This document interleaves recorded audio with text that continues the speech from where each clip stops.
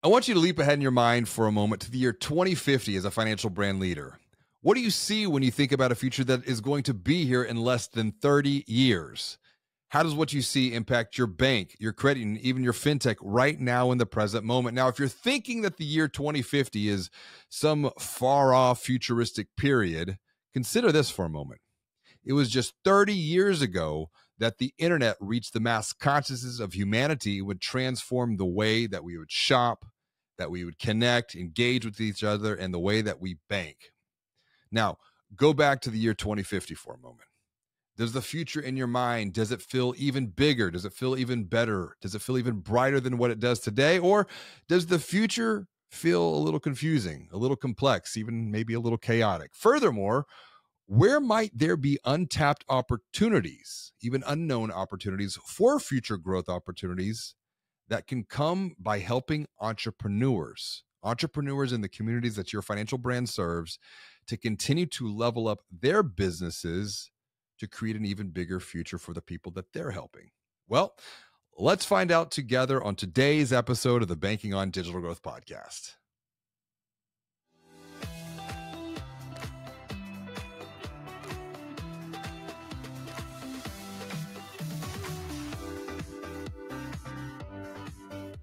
Greetings and hello. My name is James Robert Lay, and I'd like to welcome you to another episode of the Banking on Digital Growth podcast. Today's episode is part of the Exponential Insight series, and joining me for today's conversation is Dan Sullivan. Dan is the co founder and president of Strategic Coach, and today, Dan and I are going to be discussing his new book, The Great Meltdown, to help you unlock new future growth opportunities as a financial brand leader by looking for ways that you can help entrepreneurial leaders in the communities that you serve continue to level up their business through the year 2050. Welcome to the show, Dan. It is always good share, to share time with you today, buddy. Thank you, Robert, um, James Robert. And uh, yeah, uh, interesting world. And uh, uh you have a lot of things to talk about. I have a lot of things to talk about. We do. And before we get into what I see as maybe one of the biggest A, unknown and B, untapped growth opportunities for financial brands, particularly financial brands here in the United States, helping entrepreneurial leaders level up their business. What is good for you right now? What's what's what's positive in the world of Dan? well, uh, our company is doing really well. We had our best revenue year, great profits, not the greatest percentage profits, but probably the biggest actual profits. And um, uh, it's going really well. We had three best selling books that are giving us great pre qualified leads for the program. Uh, we'll cross a thousand new um, uh, registrations into coach this year. So that's good. That's awesome. And, and uh, we're in a big move right now to get our uh, all of our thinking tools patented. So we we have right now we have about 60 patents in. We've gotten nine back from the Patent Bureau in the last um, last eight months, and uh, these have value. And that would be a totally different podcast to talk about the asset value of pat- patents and the fact that you can borrow against your patent assets. I think that's know, a so, that that would be a good future conversation because when we think about this evol- evolving world of of banking and financial services uh, you've even said before what is the value of the s&p 500 now with ip versus a physical asset how has that changed over the past couple what decade 40 years it's uh it was 2080 20 20% uh, ip assets 80% tangible assets which would be property and buildings and equipment everything that's you know that's got weight and mass and uh, now it's just reversed it's yeah. uh, 80 percent uh, and if you look at the the really top ones like apple and uh, you know the other tech giants uh, it would be well over 90 might be 95 percent their valuation is based on uh, intellectual property which is considered an intangible Right. And you think about where we're going now, where we've been, mm-hmm. where we're at, and where we're headed. This is where you wrote a fantastic new book titled The Great Meltdown, and it explores the four crucial factors that determine economic growth. MELT being an acronym: money, energy, labor, uh, transportation. What I'm most excited about this book is it provides a perspective that I would say is of hope, of, of optimism, um, and and I know many financial brand leaders uh, are feeling a little different than that right now in what are otherwise confusing and complex times. But it's a good book for financial brand leaders because it taps into to growth opportunities that are hmm. Rooted in helping innovators, entrepreneurs, especially those in the United States, continue to grow, to continue to level up their businesses, because it's going to be these innovative entrepreneurs, as as you share, that lead mm-hmm. the way. Why why write the Great Meltdown, and why now? Well, uh, it has something. Uh, there's a number of factors. When I was born, and uh, so um, I'm uh, actually pre. I predate the boomers. So boomers were born in earliest boomers were born in 1946, and I was born in 1944. And um, so I've lived my entire life in the present world and by present world, I mean the world that followed the Second World War. Okay. And that was a war that was based, that uh, world order. And uh, um, this is not my original thinking here. This is Peter Zeihan, who is a very, very original thinker. And, uh, but he talks about the deal that the US put together with uh, willing partners uh, after the Second World War that basically had three pillars to it. Number one is the US dollar would be the reserve currency because there was no other currency that could be. Mm-hmm. And uh, the secondly was that the US would, uh, was half the world economy. The, the US was the global GDP, the US was half of the GDP because so many other countries had gone bankrupt and failed because of the war and uh, and so the U.S. would uh, uh, bar- lend massively amounts of money. The central the central thing there was the Marshall Plan in Europe, which rebuilt the European countries, uh, those who wanted to be part of it, and uh, the other thing was that the U.S. would protect all trade routes, so people could make whatever they wanted to make, and they could sell it into the U.S. without any tariffs. Okay. That was not a economic uh, plan. That was a strategic plan because the U.S. could see that if there was another war in Europe and they had to fight it against the Soviet Union, they couldn't win. Mm-hmm. Okay. And uh, besides, too many taxpayers came back in coffins. Uh, Americans don't like losing taxpayers. right. Right. And, and so, uh, yeah, so they did this deal, and it was a great deal. And uh, but it, uh, it was the only purpose was to offset the Soviet Union, which in 1992, in 1992 quit. They did. They just they just folded as a entity.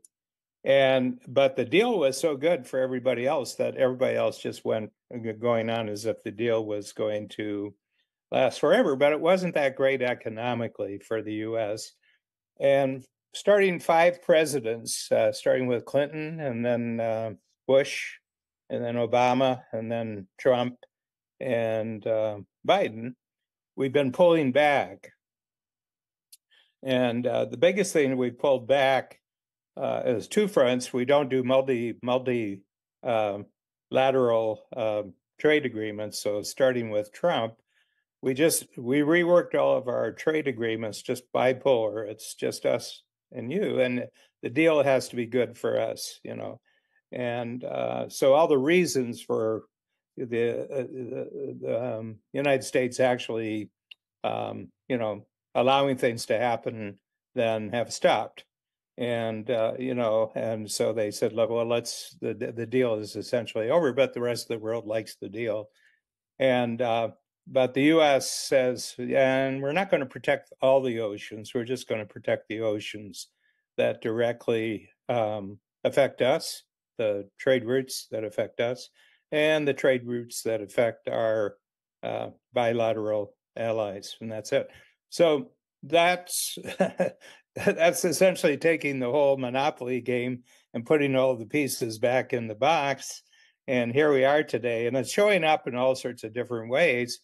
But uh, the root cause is that the U.S. is not that interested in the rest of the world anymore, except certain allies. It's just, um, um, and and even at the height of the U.S. deal with the rest of the world, only ten percent of the U.S. economy had anything to do with exports. Yeah. Yeah. So 90% is just Americans making stuff that other Americans. And there was a big price for it. It uh, decimated our workforces because offshore was uh, cheaper. Right. Uh, I, come, I come from Ohio, and Ohio just got whacked, you know, in the 70s, 80s, 90s, just got whacked because they were being outcompeted by Chinese labor. And um, so the U.S. is just kind of not interested anymore. Yeah, they're just not interested. It's it's it's, like, it's like Trump. I mean, Trump yesterday. People will vote the way they want to vote, but he made he voiced what is a fundamental opinion that if you didn't contribute to your own defense, we're not going to defend you. Mm. Got to have some skin in the game. Yeah, speak to the. He's speaking to the Europeans. Well, did you pay for your defense? And they said, no. Well, will you still protect us? And he said, of course not. Yeah. Well, well no, if you don't, if you're not up to defending yourself, we're not up to defending you. But that that would never be said. Sure. In prior times. So this is a huge whole, game changer. Like you said, it, the monopoly pieces it, are back in the box. It's a whole new game. Yeah, it's a whole new game. And uh, so I'm a great fan of Peter Zeihan. Um, you know, and his four books, which are amazing books. Um, the last uh, new book was uh, The End of the World is Just the Beginning. And I've read it seven times because it's so informative about what's going on in the world.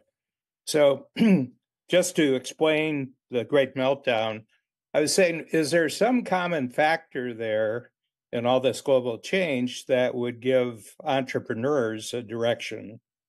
on how to think about their uh, value creation in the marketplace. And I give it a period of 2020 to 2030. Yeah. 2050, 2020 to well, and, and that's 30, what I, I want to 30 year period. Yeah, and I want to pause in the context of time because, like you said, you were born in 1944. I think about you know the internet reaching the mass consciousness of people in 1994 here we are in 2024 you've got 80 years looking back. The internet is now 30 years looking back. Yeah. but if i think about this cycles of time 80 year cycles uh, internet's 1994 1997 the fourth turning comes out uh, with neil howe. How much of this is playing back? Because in that context it was you know going all the way back to 2024 or, or 1944, 1946, if you will. Then you go back, so that was World War II. Then you go back to the Civil War. Then you go back to the American Revolution. I know in the the great meltdown you you touch on that too going all the way back to the founding of the united states why is that important for context thinking about the growth opportunities for community financial brands to help entrepreneurs yeah. level up and thrive yeah. and I know we talked about this right at the beginning before we came on. Um, uh, the U.S. is just uniquely different in the way it's constituted, and by constituted I mean the Constitution. Yeah. And a lot of people don't really understand what the Constitution is. Uh, but my understanding is that it's a document that guarantees individualism. And you could see that in the first 10 amendments. They're all protections of individuals. And uh, so, constitutions, for example, we have one here in Canada where our home base is. I'm an American citizen, I'm a Canadian citizen, so I have dual. And um, it, it, it doesn't have any reference to how it's protecting the individuals. Mm. Okay. So the US, the whole attitude is the Constitution there is to actually protect individual Americans from their government. Yeah. From government overreach, from, you know, um, you know, there there's things that the government does which you um, without being too political, are kind of totalitarian. Sure. And the only thing that protects people when it gets to the, you know, the final courts, the Supreme Court or Congress, is the fact that the Constitution makes individual initiative primary. So I think that I, I just put in a phrase um, in the book and uh, and my notes to you before the presentation that it's the only entrepreneurial republic in the world. Yes. Okay. And uh, first of all, it's entrepreneurial, and uh, you know, right in the first article of the Constitution are the the ruling on intellectual property. And I find I find that very very interesting. The intellectual property that uh, you know we want to encourage and reward and support individual initiatives, especially in the area of inventing new knowledge and new techniques and new skills. So they spread throughout the country, you know. So that's what I think. And uh, there's uh, four constraints to that kind of growth, and it's the cost of money, which is primarily people experience through interest rates and mortgage rates. Okay. And number two is the cost of energy, which they experience at the gas pump and their heating bills and uh, you're in Houston, so air conditioning bills. That's right. and then the cost of labor, you know, um, uh, can you get good help, and how much does good help cost? And um, I'm talking entrepreneurially here, right? And uh, cost of transportation um, to get stuff from here to there, and for you to get from here to there, how much does it cost? And in all four of them, the U.S. is the cheapest most uh, low priced melt melt country in the world and it's because of the entrepreneurism well and that's where i want to just pause for a minute because this idea of the great meltdown it simplifies all of these I would say otherwise unpredictable changes as we look towards the future because we can look towards the future through two lenses. We can look to, towards the future as like it's getting bigger, it's expanding, it's it's full of opportunity, it's growing in abundance, or we can look at it through lack and limitation. Now I'll tell you, we last year we launched our future growth index with financial brand leaders, and their perspective of the future is a bit, shall we say, small. Entrepreneurs, on the other hand, are looking at this as a bit of a larger lens. How how does the great meltdown simplify all of these unpredictable changes up to 20, 2050? Well, I would say from an entrepreneurial standpoint, it has to do where should your innovation be focused? That's number one. And number two is where should your marketing efforts be focused? Uh, you know, innovation and marketing are the two profit centers in any entrepreneurial business. And uh, so, for example, I, I, you know, I've got um, pretty close relationships with people who are involved in the high tech field, you know, and they're coming out with this great new thing, this great new thing, this great new thing, and um, and uh, how how do you assess whether this has got a chance, this new thing? And uh, when I came upon the melt cost, I said, well, first of all, does does it actually lower the cost of money? Let's say artificial intelligence, because it's a hot topic right yeah. now. Artificial intelligence. Well, does it take the um, cost of money down? Well, you can't tell because you don't know what it's being applied to. Sure. Okay, and I don't, I don't see any great breakthroughs that um, artificial intelligence is, uh, uh, you know, dropping the cost of money cost of energy, we know that it cost uh, the cost of energy really goes up with artificial intelligence. It's a it's a very voracious beast for the sucking byproduct. up energy. Yeah, sucking up. It takes yeah. a lot of energy to back up artificial intelligence. Labor, um, it's split so far. We know it doesn't affect blue collar at all. Mm-hmm. And now we're getting the signs that it really affects highly educated white collar workers. And it affects them in the way that it uh, eliminates their jobs. Yeah. Yeah. So, um, and I think the the ball is out on that, and then the cost of uh, transportation. I see no evidence one way or another about what it does. So people are so excited. Well, this changes everything, and I said, yeah, but what does it do to the cost of money, energy, labor, and transformation? Transportation. Okay. And I'll give you an idea of the cost of transportation that's changed in just basically the last two months, and it's the pirate attacks in the um, Straits of Hormuz, mm-hmm. which is uh, between the you know the Arabian Sea and uh, the Indian Ocean. Yep. Basically, it's where everything after that comes through the uh, comes through the Suez Canal. It has to go through this very narrow strait. You can see the coast on both sides when you're going through, and they're being attacked. And within seven days after the first attack, the cost of insurance went up 300% if you're making that voyage.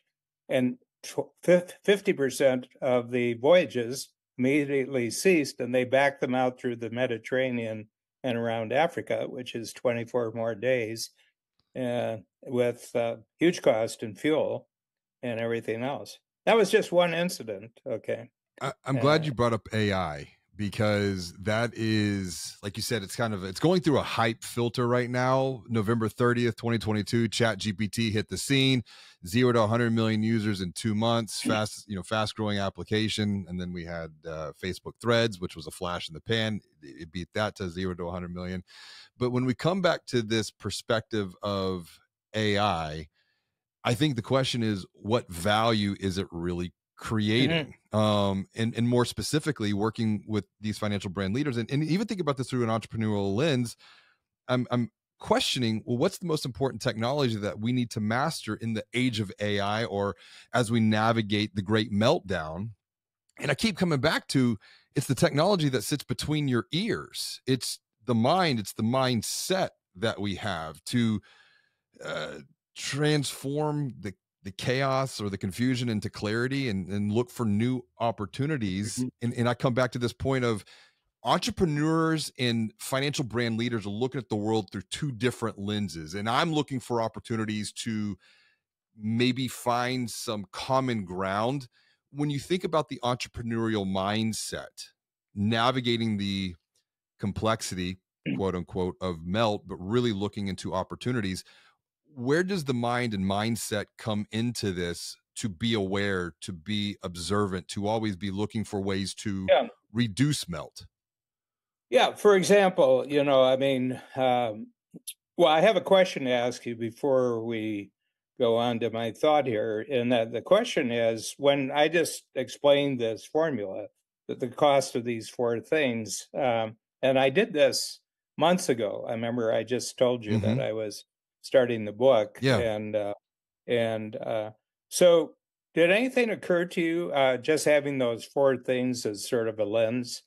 Well, it's easy to look through. It's a filter. It's you know, is this going to reduce money cost? Is this going to reduce uh the energy that's needed and i think energy too is you can look at it through a different lens as well it's not just you know uh, cooling and heating. It's also could be human energy. Um, and I think about some of the work that mm-hmm. like Kathy Kolbe's doing. Um, then you look at the is this going to reduce labor? And I will tell you, we've been able to apply some of that even here to get an exponential multiplier through technology and increase output, even with the podcast. And then there's the transportation. So for me, it's like, okay, check, check, check, check, check. Am I getting is is this increasing or is this, is this de- decreasing? And then where's the value creation within each one of those four lenses? Yeah. Yeah and that's my intention of the book. And uh, what's different about the book is that i'm talking about constant constraints yes. okay? I'm not talking about you know great breakthrough opportunities. I'm just saying it doesn't matter what the opportunity seems to be there's four constraints that it has to uh, uh, decrease the cost. And uh, and it's very interesting. I'm talking to you in Houston right now, and Houston is like the sweet spot of the mm. planet related to melt costs. Yeah. Okay. I mean, if you think of Houston, uh, cost of uh, money, mm-hmm. well, you're you're you're you're now becoming the largest financial center west of the Mississippi. Yes. You know, I mean, and maybe you already were, but Houston's just got so much going from it from a melt standpoint. Cost of money is very, very low. Um, relatively, I mean, comparatively, it's very low. uh, cost of energy. I mean, you're sitting in the energy center of of uh, the, world. The, the energy is, corridor. Yep, exactly. Yeah, and most of the export money that goes out through the Gulf of Mexico. It goes out through uh, Houston Ship Channel. You know, yeah, the refineries are in Houston or they're you know on the Gulf Coast and everything. So the cost of energy is very low. I mean, Texas probably has the lowest energy cost mm-hmm. for the most part um, of any any place in the United States, and the U.S. is number one low cost in the world. And then labor. I mean, uh, uh, you know, there's a lot of. I, I have a lot of clients on the Pacific Coast. You know, they're in California or Oregon and Washington, and uh, you know they're complaining about this and they're complaining about that. And I said, any thought that you might move to the United States? You know, what I mean, would you think about moving? I know a lot of Californians are moving to Texas, and that's yes. about as American as you can get. You got a lot and then the hill country. Transport transportation costs. The U.S. just has so much great transportation because it's a, it's a coastal country for mm-hmm. one thing, and that goes that's on the west, that's on the south, that's on the east, and that's on the north. The Great Lakes go almost to the midpoint of the country, and that's all coastal. And that's got the greatest river systems in the world. And, um, you know, so this is a country that um, uh, everything it's got going for it is true uh, is proof that God loves America. You know, because everything just supports this country's growth. But from an entrepreneurial standpoint, you got to know that defeating the constraints is the key to entrepreneurial opportunity. And that's where playing a game of limiting constraints is always fun because it's like if we were to reduce say labor or if we wanted to reduce money or energy or transportation what's what do we have to do? And then i think that's where what are you seeing when it comes to the mm. most successful innovations that are going to be those that decrease all four of those maybe even perhaps at the same exact time? Lasting well we're, we're using one of them right now. That's true. We are. In real time no, I mean Zoom was a great uh, game changer for us because we were strictly an in-person workshop. Comp- uh, you know, all of our entrepreneurial workshops were in person.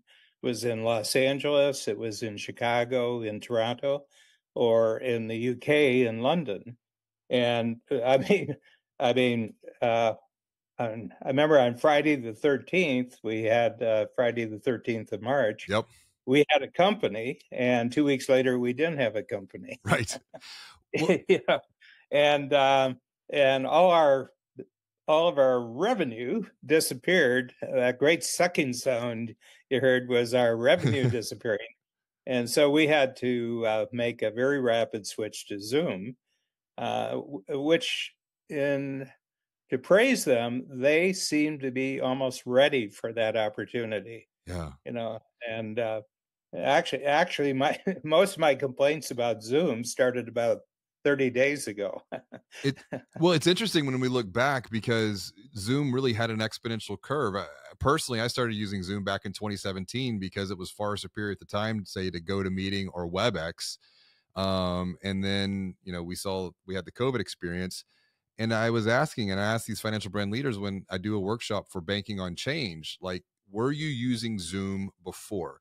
How much has human behavior if we think about changes at the macro level technology driving a lot of this driving changes in competition driving changes in, in the consumer competitive landscape mm-hmm. the consumer consumer behavior landscape even even down to if i think about like melt i think about something as simple as uber eats. For example i was doing a workshop yesterday and i said how many of you were using like uber eats or doordash pre-pandemic? One maybe two people well, what about post pandemic? 95% of hands go up in the room, and that's transportation right there. That's money. That's there's there's energy tied to that. There's labor. So even thinking it through the context of that, that's an innovative opportunity of grocery mm-hmm. delivery. You know, looking yeah. at all of these different lenses. So Melt is a fantastic lens to look through here from a yeah. constraint standpoint. So one, one, and every individual has melt costs.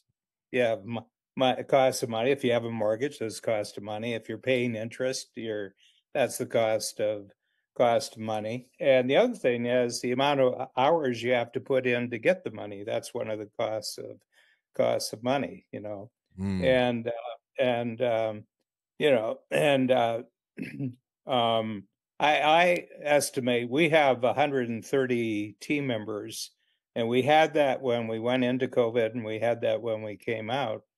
And I was estimating one day, I was just thinking um, because they weren't commuting at all, and uh, you know the prices in Toronto and Chicago, uh, you know, in the UK and Los Angeles. I mean, they have to be living outside the city just to afford their housing and to get this kind of schools they want for their for their kids.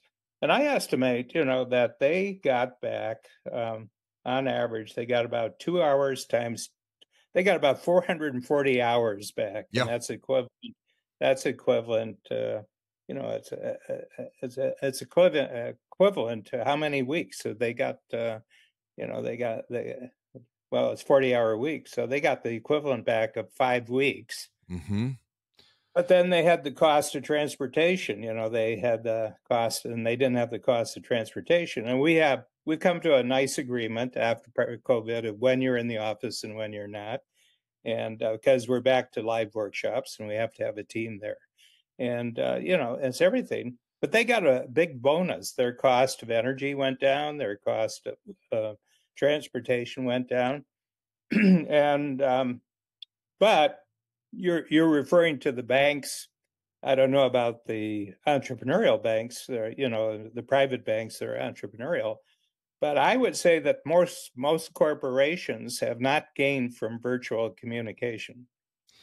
From observing, we'll say incumbent traditional financial brands to entrepreneurial, it's the entrepreneurial, even to the point of say Jill Castilla, who's the CEO of Citizens Bank of Edmond out of Oklahoma, about a $350 million community institution. She has now launched a second brand, Roger Dot Bank, that is focused on the mil- military community. So when you mm-hmm. think about this idea of value creation, eh, what I don't think it would have been possible even a decade ago, five years ago, to launch a secondary brand alongside a community brand to create even more value for a particular niche community. You're touching on something here too when when you're talking through your team and time. I, I've been thinking about this writing banking on change, where time is like a currency how are we yeah. how are we investing our time? Because time should have a multiplier effect of being able to get something additional of value. An hour no longer, even this podcast conversation, it's 30 minutes to an hour of our time, but it's going to go on and be listened to a thousand times, a hundred thousand oh, times oh, yeah. more. So yeah. it's interesting this idea of context of time as a potential opportunity, even from melt. Oh yeah, that well, it's a cost. You know, time at, time, effort, uh, they're all costs. So my sense is these melt issues are not a new thing. They, as soon as humans started as a separate species, uh, they were aware of melt costs. Uh, you know, and uh, you know, and if they if they weren't intelligent about it, they just disappeared. Uh, you know, they just disappeared as individuals, as families and tribes, and uh, so it's constant melt melt costs. But it's very, very interesting that um, uh, of all the countries in the world, the U.S. for the longest time has always had the lowest melt cost. Mm-hmm. Okay, it's uh, it's 150 years now, and it's measured by the growth of the GDP. I mean, you can you you can make a direct correlation between melt costs and the growth of your GDP. Sure, and you can do that. You can do that on a company basis. You can do that on an individual basis you are not growing financially and you're not profitably growing financially if you're not handling your melt costs. What are you excited about? I mean, when we're looking to this uh, 2050 horizon line, it yeah. it well, I'll be 106 and if I get to 2050, I'm feeling really great. Well, I mean, it, it feels far, but it, it's not. And and I know you're gonna. I mean, because like you said, 1944 to 2024, you've got an eight decade perspective You'll be mm-hmm. 106. So and, and and I think that's that's something I've been thinking a lot about is as we think about melt and this future horizon line, I hypothesize that how old you were, if you were even alive in 1994, is directly influencing your perspective of the world right now. In a recent workshop that we did, I said, okay, I want everyone who was not born in 1994, just go ahead and go stand in the back corner. Um, I want everyone who was 1 to 10 in 94. I want you to go stand in the other corner. Everyone who was 11 to 20, go stand in this corner. And then everyone who was 21 plus in 94, go stand in this corner. And it's funny because people think that like I'm separating like it's an ageism. I'm like, this has nothing to do about age. This has to do about a matter of perspective because yeah. How old you were even when talking with some of these bankers, I'm like, listen, what was the what was it like being 25 or 30 years old and this internet comes out? And I've heard you talk about the microchip, and that was a big transformative thought that you had, even going back preceding 74. That was 50 years. 74. Ago. So yeah. so that's interesting. So 74 to 94, that's 20 years. 94 to 24, that's 30 years. And then if we go back November 30th, 2022 how old you were at that moment in time i think is going to directly influence this because i think about my kids and mm-hmm. and we're already using chat gpt to collaborate and and co-create and i think that's the thing because maybe there's a misconception and what's your take on this thinking about melt thinking about these four lenses that ai some perceive and i think incorrectly or well, we're just going to outsource our thinking to AI. I'm like, no, no, no, no, no. I think I think there's an opportunity to double down on your thinking, to think even more, and really break. Because I look at those four cycles of operations, uh, or, or seasons, if you will, for growth. There's a season to to learn, to think, to do, and then to review. I think a lot of individuals get stuck doing, which is why I'm so grateful for just the coach experience because it's like every 90 days you get to pause, you come out of the doing, you get to review what you've done, learn, think about what you can do even next to do it even that much better. So there's this whole cadence here. But when we think about thinking, which I know you think a lot about, metacognition, how does thought and just creating that space to just pause and review and reflect and learn and think help navigate this next period of melt? Yeah, well, I think the the biggest thing is that um, uh, there's some barriers to thinking at all and thinking properly in these days just because of the sheer amount of electronic messaging that, mm. that's coming at you. So I made a very fundamental melt uh, decision uh, July 2018. I decided not to watch any more television at all for the rest of my life. Mm-hmm. Okay. And I'm um, halfway through year number six right now, and I haven't watched anything. I've never turned the TV on, and um, you know, um, sometimes I'll catch something in a restaurant, you know, or uh, you know, walking through the lobby, walking through the lobby of a uh, airport. But the uh, thing I haven't, I got, and I freed up 800 hours a year for five years. Well, that's that's a big gain. That's uh 4,000 hours. Yeah. And it was because of simple behavior modification. And yeah. I think a lot of people, I don't have time. I don't have time. And my question is, is once again, how are you investing your time?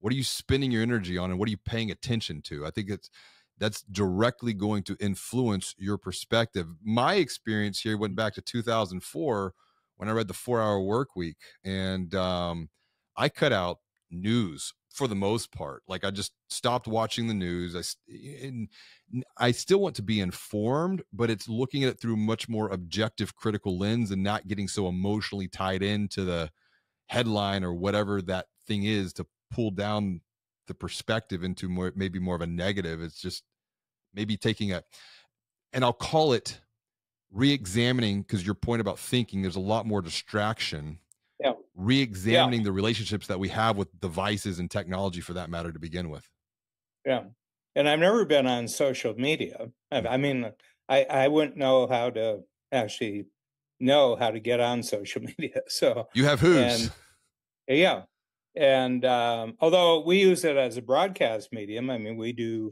yeah we do x we do uh, you know we we we do the mediums, but I treat it uh, strictly as a broadcast medium. and uh, I know 20, 30 messages go out, you know, uh, all, almost daily with our team, but I don't, you know, I'm not really involved in that activity. And uh, it's funny, my cell phone, uh, I'm really hooked on Oura, you know, Oura yes. measures sleep. And um, uh, uh, I, I, think it's been great experience in itself, and I get a lot of value out of the the application. But the biggest thing I do, it gives me a reason to have my cell phone charged up. I could go weeks with my cell phone not charged up. But I have layers of who's between me and anybody who wants to get in contact. And uh, I'm a great believer in having uh, um, really uh, specialized team members for almost everything that surrounds me and that's uh, you know people say I, I, couldn't I couldn't do the cost of that. I mean, uh, I mean, what kind of payroll do you? What are your payroll costs? And I said none. I said it's all investment. That simple mindset shift right there is massive because think about your relationship with TV. You got five was it four five hundred hours four hundred hours back um 500 no 800 800, 800, 800 hours over yeah. five years it's a 40,000 uh, 4,000 uh, return on time hour return on time I think the same is true right here is yeah. it's just a little mental mindset shift of expense versus investment investment comes back and pays a multiplier uh, yeah. whether that's technology or time or, or, or whatnot yeah, I'm going to drop a thought here because I know there's going to be people watching this and this may be their business. But if you had a platform right now and use AI if you need to, or use anything else you need to use, but it's a platform that just gives you a daily read of melt costs. And um, hmm. you could look at any business opportunity, and the first thing you do, do before you talk about the marketplace and who's the consumer, you say, This thing that I've just created, how does it lower money costs? How does it lower energy, labor, mm. and transportation costs. I think that would be a neat app. I think it would be. It's a, it's once again, it's a, it's a very compelling offer because everybody relates to those costs. And it's I, I like the compelling offer versus a convincing argument perspective that you've shared before. And this is where melt.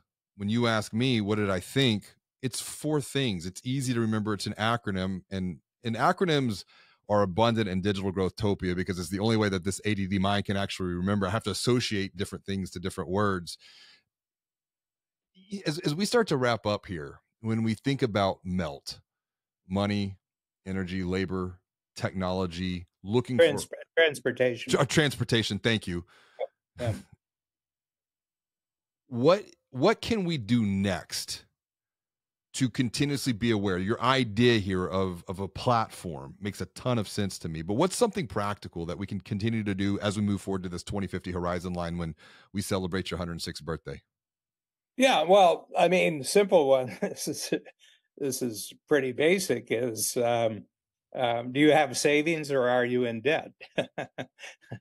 hmm If you're in debt, uh, your mel- your money costs are going to be higher than if you're you have savings or you know, I mean, is more coming in than's going out, and uh, uh, anything. And uh, um, you know, uh, just look at uh, what are you writing checks for right now that you could you could eliminate. So I think you anybody with a little bit of thought can probably get leaner in their spending, and they any any entrepreneur can probably with any thought get um, you know get richer in terms of their revenues. Yes.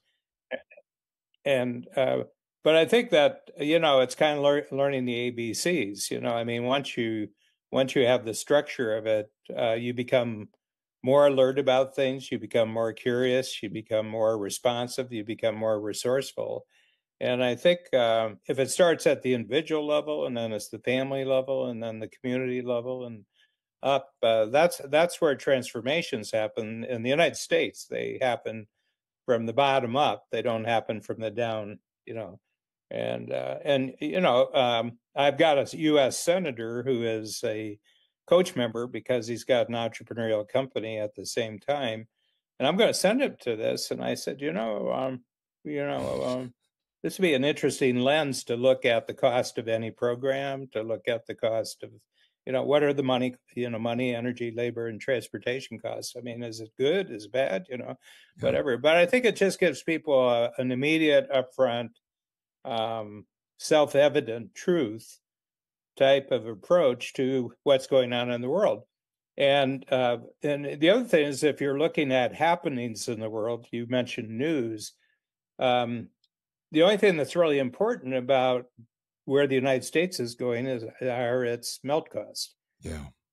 Uh, China's melt costs are going through the roof right now. Mm-hmm. Russia, Russia's melt costs are going through the roof. You know, Canada has much worse melt costs than the United States does. Well, I know Peter has a, Peter Peter Zeihan has an interesting perspective on on China um, and what's going on over there and how that is going to implicate things going forward into the future. To your point, that the increasing melt cost, but there's one thing that you you shared that I just want to surface back up. It's the curiosity component. Um, yeah. It's easy, I think, when things are getting more complex to kind of just shut down and go inwards, but be that curious kindergartner. I always tell my kids, I don't care how old you get, be be the curious kindergartner that you used to be because you're always going to be learning and seeing things from a different perspective. Um, and if you're learning, you're going to be growing. Uh, so this has been such a good conversation here, talking about uh, the the the great meltdown and, and what we can do to be curious, to be aware, to be alert, to be responsive, so that we can continue to create value for others together. Dan, thank you. Yeah, well, um, I'd like to, you know, just uh, because it's a real gift uh, to me that you have me on your podcast. So I'm just going to give you the da- download of the book, and you can put it on right after here. And anybody wants to download it, they can get the electronic version of the book. I mean, these type of books I do just to support the entrepreneurs in our program. I mean, we write big books for you know other reasons, but this this one. So well, that's such a, uh, a kind yeah, gift. Actually, actually, the hard copy just comes out next week. So we but we have it, and uh, Gord will send this on to you. He'll just send the um, um, he'll just send the download, and you go to the download site, and it's the download of the book, it's the download of the audio, and it's the download of the video. Uh, all all three things come with the same, and it's just uh, my appreciation to you for having me, you know, kind of communicate and put this idea out into the public. Well, it is a simple one. Simple is good. I like it. It connects, it sticks, it, it resonates with me. And if you want to get the book, www.strategiccoach.com forward slash go forward slash TGM, as in T V G Great M Meltdown. So go yeah. grab a copy. You can download it, you can listen to it. Dan, thanks again for joining me for another episode of the Banking on Digital Growth podcast. This has been a lot of fun as always. Thank you. Thank you. As always, and until next time, be well, do good, be the light.